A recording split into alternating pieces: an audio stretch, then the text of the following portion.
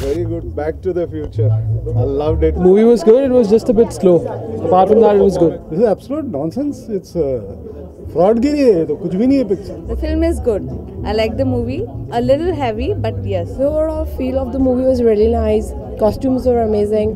Uh, don't know about the story. It was okay. It's lovely. It's like it's really nice. I mean, well justice done to Bombay Velvet, of course. Movie अच्छी थी overall जो है अ, थोड़ा हम लोग different थी हटके थी It was good. It was good. It was really good. very bad very bad It's very good film. It's good. It was a good movie, uh, but as I said, uh, it's very predictive story. You know, so there is no uh, charm in it. It's a good flow. The movie was good. Story was good. And for the time the movie is depicting, from attention to detail, from the cast to the song to the set to the language to the way they've crafted the film, I think it's all fit very well. what is 70s so what if 70s is there what is recreating the 70s is, is cinema there has to be some material in it And 70s is great because I grew up in that time, but the editing was not good. They were jumping all over, and it was very prolonged and too much violence unnecessarily. That's my view. आज के समय की movie से थोड़ा सा लग रहा थोड़ा एडजस्ट होने में टाइम लगा लेकिन बाद में अच्छा लगने लगा। I think you can't identify with that film only यार। क्या किसका परफॉर्मेंस देखो?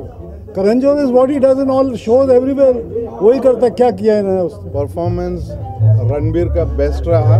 And everybody did well. I think I liked Ranbir Kapoor. Ranveer was great, Anushka was okay, and Ranveer, uh, or I mean, Karan should stay with directing. I think he's he's not an actor. Performance is very good. Karan, Karan Johar, very good.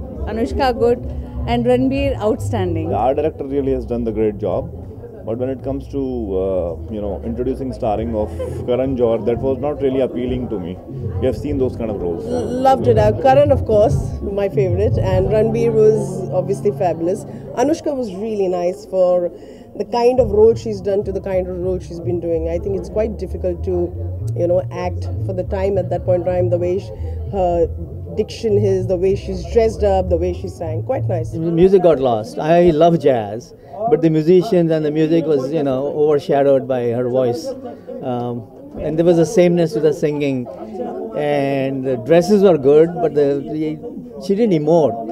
You know, she's known for her acting and emotion. She was quite plastic in this movie, I think. nothing in the picture there's no link there is no nothing whether it's a love story it's a action picture it's a mafia drama what is it And it looks like somewhere uh, inspired by अपना Scarface जैसा थोड़ा लगता है. either i think it's not meant for this country it's meant for outer space anurag kashyap is, is the first man to go there that's that's the only that's the only thing yeah it is definitely not meant for human beings of india this picture Overall, it's very impressive. It's a must watch, but yes, above above 16. I'll rate it about four.